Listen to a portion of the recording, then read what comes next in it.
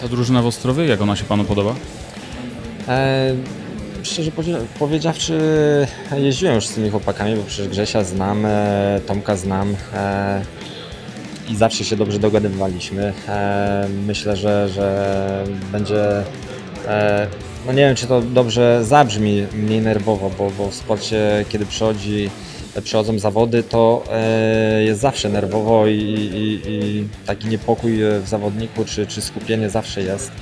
Ale, ale mm, przed zawodami to jest też e, okres taki ważny i, są to zawodnicy tacy, e, no nie wiem czy wyluzowani, ale, ale bije od nich dobra aura, także I ta atmosfera w zespole może być kluczem też do sukcesu. no, to tak jak wszędzie myślę, że tu nie odkryjemy żadnych e, nowości, tak? Atmosfera jest e, przede wszystkim potrzebna do, do, do tego, żeby był dobry wynik i, i, i dobry kontakt z, z wszystkimi, także myślę, że to wszystko tu zagra i, i, i będzie, będzie spokojnie i dobrze.